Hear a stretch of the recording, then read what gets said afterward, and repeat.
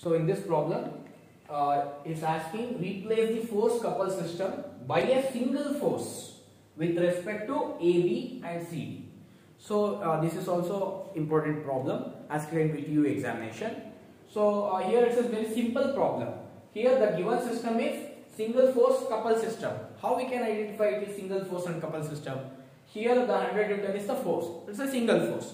Couple. What is couple? Two equal and opposite forces with a perpendicular distance. That is couple. See 100 Newton, 100 Newton. So acting mutually perpendicular to each other with a distance of 2 meters.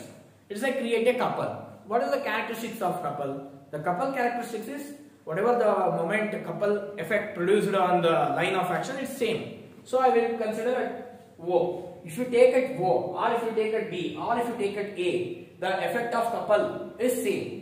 What is the effect of couple? 100 into 2. That is 200 Newton meter. How it is rotating? Anti-clockwise. So if you take it A or O or B at three all points, the effect of couple is same throughout. It's the characteristics of couple. So first what I will do, I will resolve this because it's an inclined force and I will consider couple value.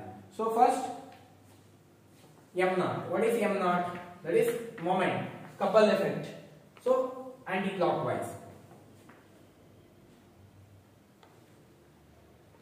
100 multiplied by 2 anti-clockwise. What is the value? 200 200 Newton meter. meter. This is m naught. And next I will resolve this. If you resolve with respect to O, 100 Newton force, this is O, and 30 degree. You are getting x and y component. So you can take this is fx. fx value is 100 cos 30 and fy value is 100 sin 30. What is 100 cos 30? 866.02 866.03 02 Newton. What is sigma fy? 500 meter. 500. 100 sin 30 is 500 Newton. So now we can easily compute using Varignon theorem of moment. What is asking? Is asking replace this by a single force. Single force with respect to AB and CD. With respect to AB and CD. So first I am considering with respect to AB. Say AB. AB.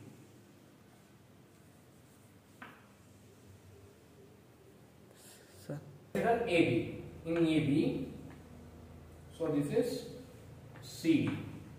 This is CD. Now I am determining this value. So here I am taking this 100 Newton effect. 100 Newton and this is 30 degree. Single force. I want to determine this Y distance. Y. So this is for AB. Because it's asking system by a single force system. So this is single force system.